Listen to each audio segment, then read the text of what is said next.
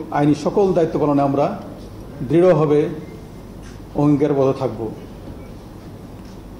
বৈষম্য বিরোধী ছাত্র আন্দোলন কেন্দ্র করে সাম্প্রতিক সময়ে ছাত্র, সাধারণ মানুষ, পুলিশ সহ প্রতিটি হত্যাকাণ্ড যেখানে সংঘটিত হয়েছে তার সুষ্ঠু এবং নিরপেক্ষ তদন্ত করতে আমরা আইনিভাবে প্রতিশ্রুতিবদ্ধ। দেশের শান্তি শৃঙ্খলা এবং স্থিতি ফিরিয়ে আনতে আমরা যা যা করণীয় সর্বাত্মকভাবে সকল সদস্য মিলে সেটি করব।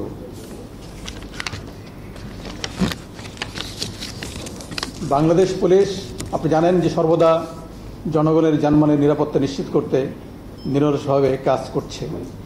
আমরা বিশ্বাস করি, আমাদের জনগণই আমাদের রাষ্ট্রের মূল চালিকা শক্তি। তাই আমরা সব সময় জনগণের পাশে থেকে জনগণকে সর্বোচ্চ সেবা দেওয়ায় সেবা প্রদানে বদ্ধপরিকর।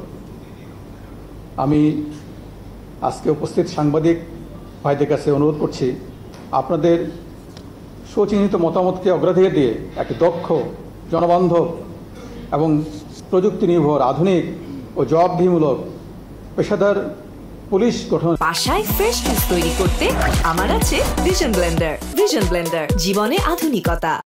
এবং পুলিশ সংস্কারের ব্যবস্থা আমরা অচিরেই ইতিমধ্যে কার্যক্রম শুরু হয়েছে আমরা গ্রহণ করেছি। এবং এটিকে বেগবান করার মাধ্যমে এই পুলিশ যাতে আরও বেশি জনবান্ধব হতে পারে, সেই ব্যবস্থা কিন্তু আমরা নিব। পারস্পরিক সৌহার্দ্য, সম্প্রীতি ভ্রাতৃত্ববোধ এবং মানুষের প্রতি মমত্ববোধে উজ্জীব- উজ্জীবিত হয়ে আমরা নিজেদের মধ্যে সমন্বয়ের মাধ্যমে এবং সমাজের যত যত স্টেক হোল্ডার আছে, তাদের সঙ্গে সমন্বয়ের মাধ্যমে আমরা সকলে একযোগে কাজ করে উন্নয়ন ও সমৃদ্ধি পথে এগিয়ে যাব ইনশাল্লাহ প্রিয় সাংবাদিকবৃন্দ, আমাদের কতিপয় উচ্চাভিলাষী অপেশাদার কর্মকর্তা কারণে এবং কর্মকৌশল প্রণয়নে বল প্রয়োগের যে আপনি জানেন যে স্বীকৃত নীতিমালা রয়েছে ইউজ অফ ফোর্স যেখানে মানবাধিকারকে সর্বোচ্চ প্রাধান্য দেওয়া হয়, সেই নীতিমালা অনুসরণ না করা এবং কোনো কোনো ক্ষেত্রে মানবাধিকার লঙ্ঘন করা এবং নেতৃত্বের কর্মকৌশল গ্রহণে ব্যর্থতার কারণে আমাদের অনেক সহকর্মী আহত হয়েছেন, এমনকি অনেকে নিহত হয়েছেন, নিগৃহীত হয়েছেন। এই সন্ধিক্ষণে আমি সকল পুলিশ সদস্যকে আন্তরিকভাবে আহ্বান জানাই, আপনারা দেশ ও জাতির প্রয়োজনে শৃঙ্খলা বাহিনীর সদস্য হিসেবে নিজ নিজ দায়িত্ব পালনে আত্মনিয়োগ করুন। আপনাদের জীবনমানের উন্নয়ন এবং সার্বিক কল্যাণ নিশ্চিতকরণে আমরা সকল ধরনের ব্যবস্থা গ্রহণ করব ইনশাল্লাহ প্রিয় সাংবাদিকবৃন্দ, দেশের এই নব অধ্যায়ের সূচনা লগ্নে বৈষম্য বিরোধী ছাত্র আন্দোলনের নেতৃবৃন্দ, দেশপ্রেমিক সশস্ত্র বাহিনী, রাজনৈতিক নেতৃবৃন্দ, গণমাধ্যম, সুশীল সমাজ এবং দেশের সম্মানিত সকল নাগরিককে এবং অবশ্যই দেশের আপনাদের মতো দেশপ্রেমিক মিডিয়াকে তাদের আন্তরিক ভূমিকার জন্য বিশেষভাবে ধন্যবাদ জানাই। আমি বাংলাদেশ পুলিশের আইজিপি হিসেবে আমাদের পেশাগত দায়িত্ব পালনে সকলের আন্তরিক সহযোগিতা কামনা করছি। সকলের সম্মিলিত প্রচেষ্টায় আমরা একটি সুখী, সমৃদ্ধ, শান্তিপূর্ণ এবং নিরাপদ বাংলাদেশ গড়ে তুলব ইনশাল্লাহ প্রিয় সাংবাদিক ভাই এবং বোনেরা, আমি আপনাদের মাধ্যমে সকল স্তরের পুলিশ সদস্যদের প্রতি ইতিমধ্যে কিছু নির্দেশনা প্রদান করেছি। তাদেরকে যারা সারা বাংলাদেশ জুড়ে বিভিন্ন ইউনিটে কর্মরত রয়েছে, এই নির্দেশনা আপনাদের মাধ্যমে আবারও ব্যাপক প্রচারের অনুরোধ জানাচ্ছি। যেমন, আমাদের Rajarbagh police lines, public order management, POM APBNs headquarter সহ অন্যান্য এপিবিএনস কার্যালয় সমূহ সকল মেট্রোপলিটন এবং জেলা পুলিশ লাইন সহ সকল স্পেশালাইজড পুলিশ ইউনিটের সব অফিসার এবং ফোর্সকে আমরা ইতিমধ্যে নির্দেশনা দিয়েছি। আগামী আট আগস্ট দু হাজার চব্বিশ তারিখ বৃহস্পতিবার, অর্থাৎ আগামীকাল সন্ধ্যার মধ্যে স্ব স্ব কর্মস্থলে যোগদানের যোগদান করতে হবে। ইতিমধ্যে এই নির্দেশনা প্রদান করা হয়েছে।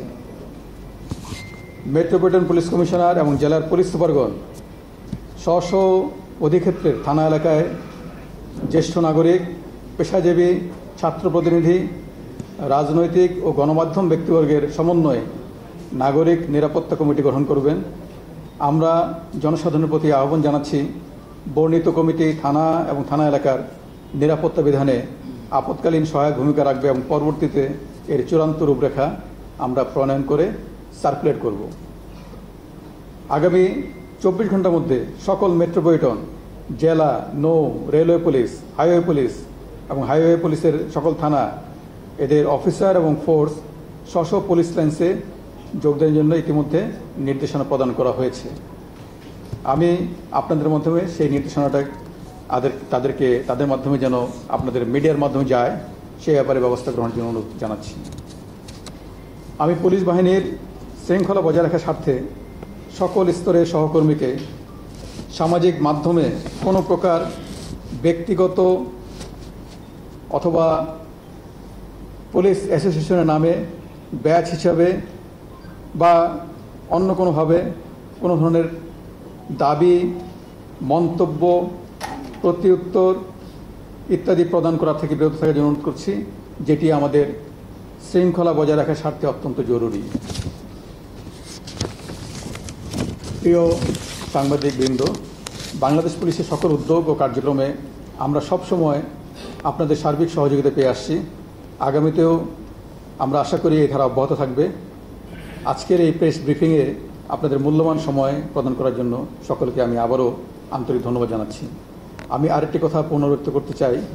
আমরা বর্তমান পরিস্থিতি যথাযথ মূল্যায়ন করে জননিরাপত্তাকে প্রাধান্য দিয়ে জনশৃঙ্খলা ফিরিয়ে আনার জন্য সর্বাত্মক প্রচেষ্টা গ্রহণ করেছি এবং সে লক্ষ্যে সকলে মিলে কাজ করছি। এ কারণে আমি আজকে কোনো প্রশ্ন বা মন্তব্য না নিয়ে সকলকে আবারও ধন্যবাদ জানিয়ে প্রেস ব্রিফিং শেষ করছি। আমি সকলের সার্বিক মঙ্গল কামনা করছি। খোদা হাফেজ। আল্লাহ আমাদের সহায়